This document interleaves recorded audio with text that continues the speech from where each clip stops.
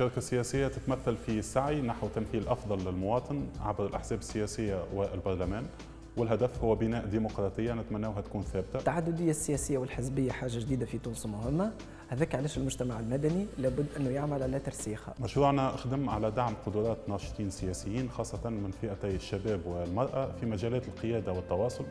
العديد من اللي آه، قمنا بتدريبهم تم ترشيحهم في القائمات الانتخابية لأحزابهم والبعض منهم تم انتخابهم كأعضاء لمجلس نواب الشعب الحالي. مشروع نخدم على آه، تحفيز الشباب على مزيد المشاركة من الحياة السياسية.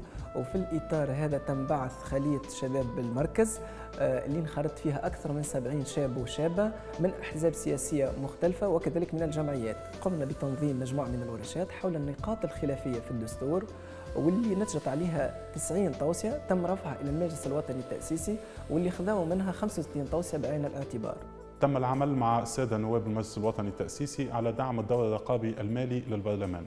وهذا ساهم في التوصل إلى صياغة فصل في الدستور ينص على هذا الدور بصفة صريحة. مشروعنا كان زاد عنده دور في الدفع نحو إحداث لجنة خاصة للرقابة على المال العام ضمن النظام الداخلي الجديد لمجلس نواب الشعب. المشروع نجح في إدارة الحوار بين مختلف آه، الأطراف السياسية الفاعلة رغم آه، اختلافاتهم السياسية والإيديولوجية.